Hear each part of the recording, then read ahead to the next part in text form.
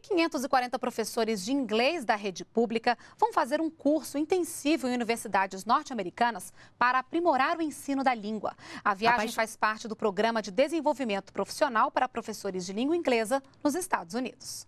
Apaixonada pela profissão, Gisélia ensina inglês a estudantes da rede pública em Samambaia, a 25 quilômetros de Brasília.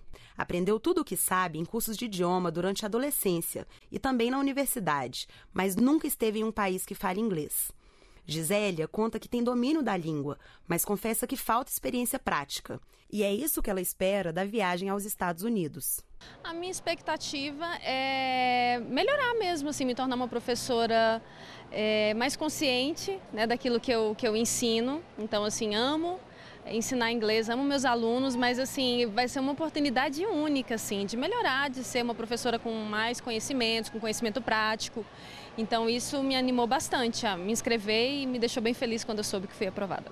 A viagem faz parte do Programa de Desenvolvimento Profissional para Professores de Língua Inglesa nos Estados Unidos, uma parceria entre a Coordenação de Aperfeiçoamento de Pessoal de Nível Superior, do Ministério da Educação, CAPES, a Embaixada dos Estados Unidos no Brasil e a Comissão Fulbright. 540 professores da rede pública vão fazer um curso intensivo de seis semanas nos Estados Unidos, com atividades acadêmicas e culturais.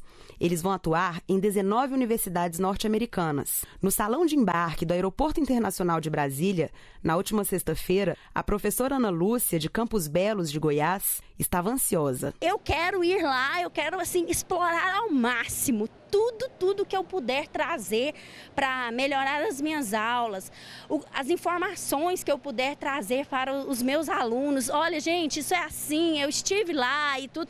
Eu tenho certeza que as aulas, as minhas aulas, elas serão mais, eu terei mais, é, elas serão mais concretas, né?